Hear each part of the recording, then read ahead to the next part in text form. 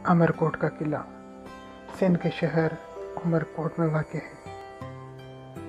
जिसकी बुनियाद राणा अमर सिंह ने ग्यारहवीं सदी में रखी, जिस पर क़याम पाकिस्तान से पहले हिंदू राजपूत खानदानों की हुकूमत हुआ करती थी। लेकिन क़याम पाकिस्तान के बाद से ये किला हुकूमत पाकिस्तान ने अपनी तहवील में ले लिया। इस किले का ज़िक्र सिंध की तारीख में किसी से ढका छुपा नहीं है। इस शाहकार की बनावट इंसानी कारीगरी का एक बेहतरीन नमूना है। इंतहाई सादा अंदाज में बनाई गई इसकी तामीर मौजूदा दौर की तामीरात से बिल्कुल मुख्तलिफ़ है। ये किला और ये शहर मेरे लिए बिल्कुल ही नया था। जिस वजह से मैंने उमरकोट के एक मुकामी दोस्त से रबता किया। और मुझे पूरा यकीन था कि वो मुझे अपना कीमती वक्त ज़रूर मुहैया करेगा। जिस पर मेरी पेशन गोई सच साबित हुई, क्योंकि ये बात भी किसी से ढकी छुपी नहीं है। जब भी मेहमान नवाजी का ज़िक्र किया जाएगा तो सिंध का नाम सारे फहरिस्त पर ही मौजूद होता है। चले आए। अब कुछ अमरकोट के किले के अंदरूनी मनाजिर के बारे में जान लेते हैं। मैं आपको एक और अहम बात ज़रूर बताता चलूँ। अमर और उमर के नाम के दरमियान भी दो कहानियाँ छुपी हैं। अमरकोट का किला राणा अमर सिंह ने बनाया, जिसकी बदौलत इसे अमरकोट का किला कहा जाता है, जबकि अमरकोट शहर का नाम बाद में आने वाले मुकामी हाकिम उमर सोमरों ने तब्दील करके उमरकोट रख दिया। उमर वही है जिस पर मशहूर मारवी और उमर की कहानी आपको आगे बताई जाएगी।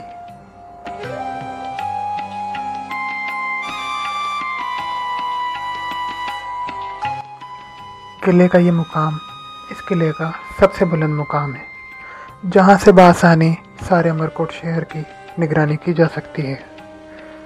यही वजह थी कि माजी में इस मुकाम को अमरकोट के दिफाई मुकाम का भी दर्जा दिया गया, जहाँ से शहर भर में होने वाली हर किस्म की नकलो हरकत पर नज़र रखी जाती थी इस मुकाम पर मौजूद हथियारों का शुमार माजी में इस्तेमाल होने वाले बेहतरीन हथियारों में होता है जिनमें मुख्तलिफ़ इकसाम की तोपें और गोला बारूद मौजूद हुआ करते थे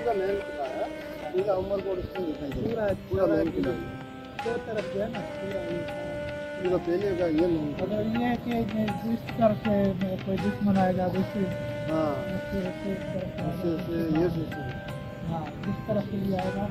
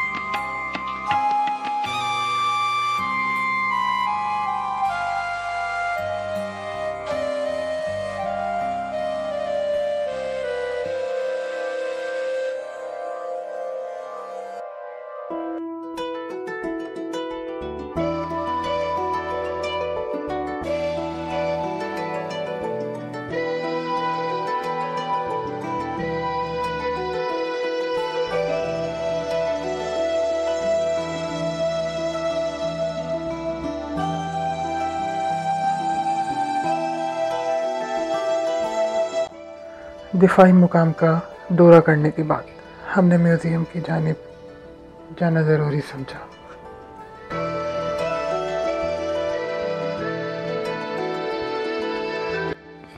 क्योंकि दूसरी और कोई चीज़ इस किले में देखने के काबिल न थी। जो हुकूमत सिंध की नाअहली और नाकामी का मुँह बोलता सबूत है। बहरहाल, पाकिस्तान की खातिर मैंने भी इस पर बहस करना ज़रूरी ना समझा। और मैं चल पड़ा अपने अगले मुकाम म्यूज़ियम की जानब।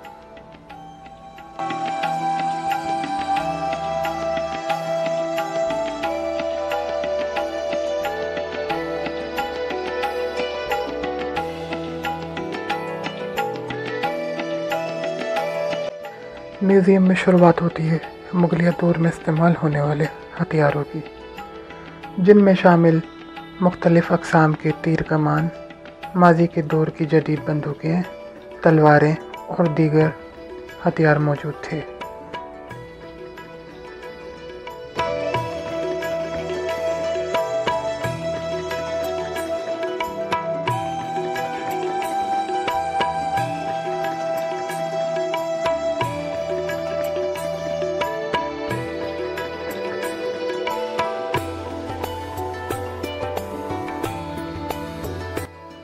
जिसके बाद मैंने अपने कैमरे की आँख में माजी की चंद मशहूर किताबों को एक्सपेंड करना ज़रूरी समझा। जो मुगलिया दौर की मशहूर किताबात में शामिल हैं।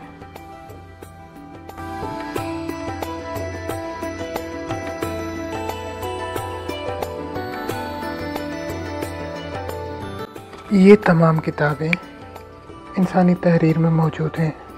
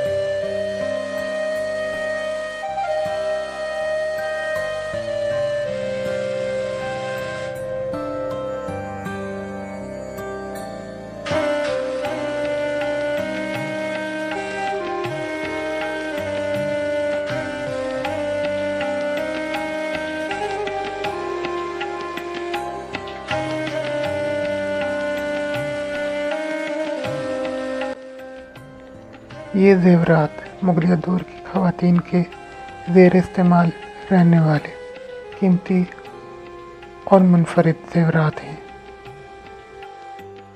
जिनमें मुख्तलिफ़ इकसाम के हार, कड़े और दीगर मुनफरद जेवरात शामिल हैं।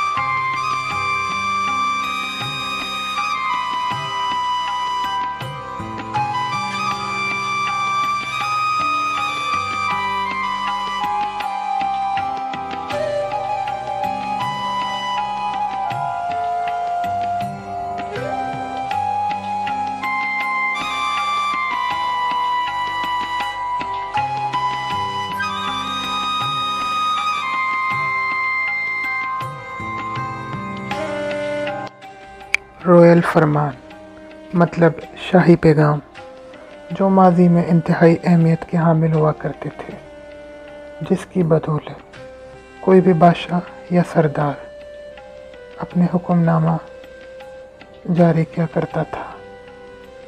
इससे कुछ फरमान आपको इस वीडियो में भी दिखाई जा रहे हैं, जो मुगलिया दौर से वाबस्ता हैं।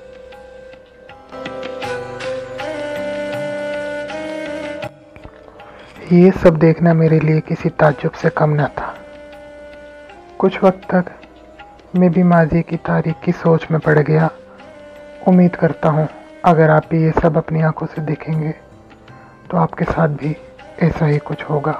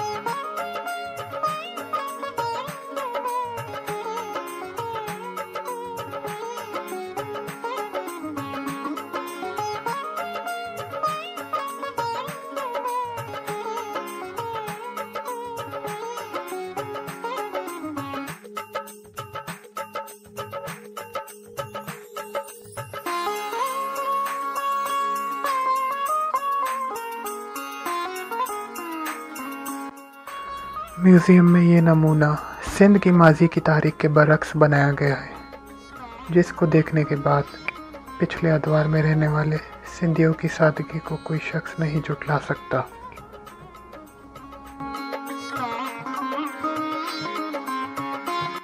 वो हाथ की कलाकारी, वो मट्टी के बर्तन।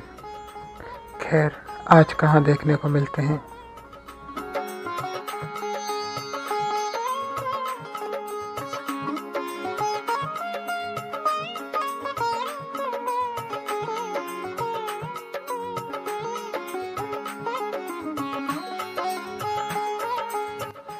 बेशक, सिंध के लोगों का हुनर ही उनके रिस्क हलाल कमाने का बेहतरीन ज़रिया है। जिनकी बदौलत आज पाकिस्तान में आसार कदीमा की तामीरात अपनी असल हालत में महफूज हैं।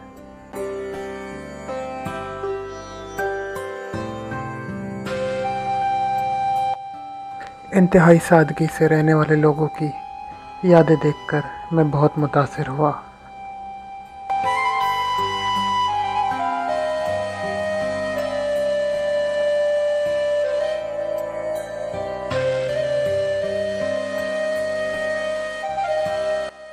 ये मुकाम उमर और मारवी की याद में बनाया गया एक मुकाम है। मारवी सिंध के एक ज़िले थर पारकर में रहने वाली एक सादगी पसंद खातून थी, जिसे उस वक्त के अमरकोट के मौजूदा हाकिम उमर ने अगवा किया था, जो मारवी की खूबसूरती से बेहद मुतासर था, जिसके बायस वो उससे शादी करना चाहता था। चूँकि मारवी एक सादगी पसंद खातून थी। उसने उमर से शादी करने से मुसलसल इनकार किया, जिसके बायस वो कई साल तक इस तारीखी किले की दीवारों के अंदर कैद रही।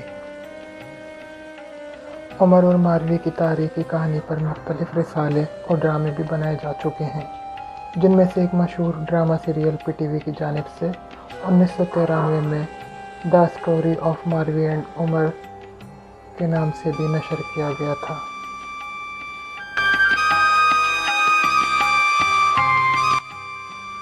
ये कुछ पेंटिंग्स हैं जो थर पारकर में रहने वाले लोगों की सादगी की अक्सी करती हैं।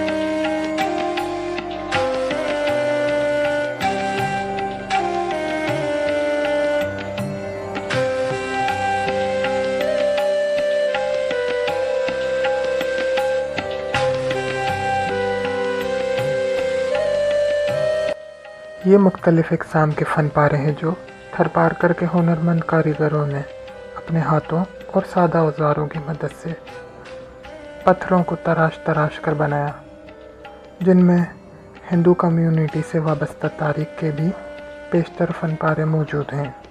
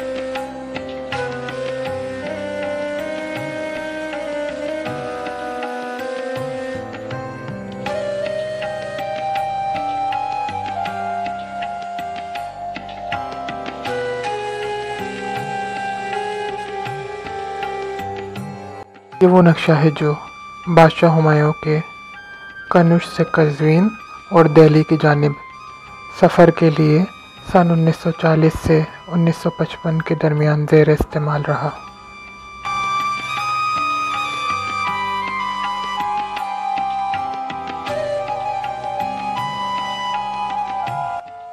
ये सब बॉक्स जो आप देख रहे हैं, ये चोरी कर कर के खाली कर दिए गए हैं। म्यूज़ियम तो बहुत ख़ास और तारीफ़ के काबिल था, लेकिन ये काफ़ी हद तक तबाहली का भी शिकार था, क्योंकि बेतहाशा कदीम अशिया यहाँ से मौजूदा सिंधी हुक्मरानों की जानब से चोरी कर ली गई हैं। मेरी इस वीडियो के ज़रिए हुकूमत सिंध और हुकूमत पाकिस्तान से अपील है खुदारा पाकिस्तानी तारीख को महफूज किया जाए और इसकी हिफाजत की जाए। अगर ऐसा ना किया तो मुमकिन है, ये जो सब मैंने आपको दिखाया, फिर कभी ये देखने के आप काबिल ना रहें।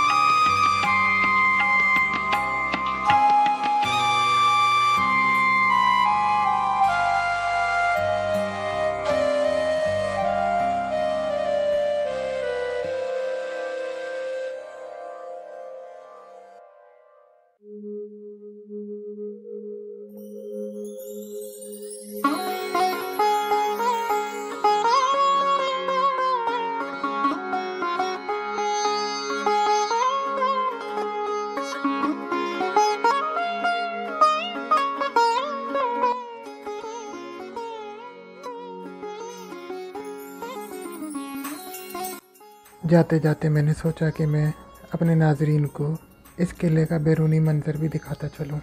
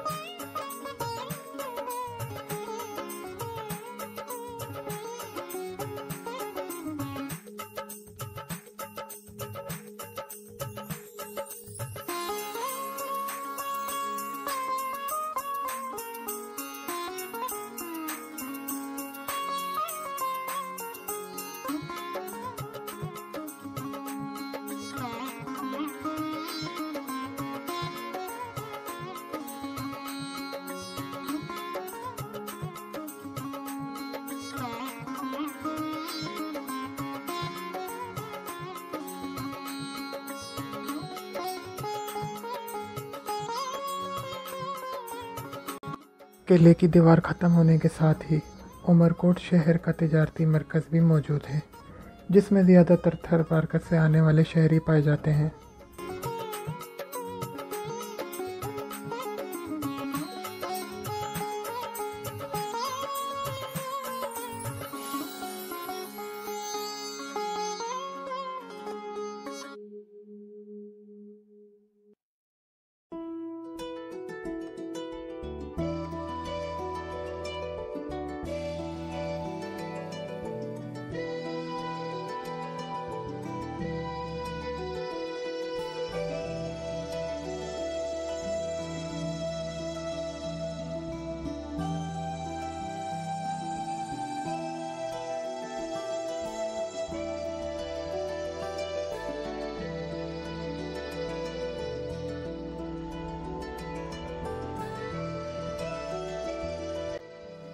तो किले का मुकम्मल दौरा करने के बाद हमारा इरादा हुआ मुग़ल बादशाह अकबर की जाय पैदाइश देखने का। ये मुकाम अमरकोट किले से एक से दो किलोमीटर की दूरी पर वाक़ है।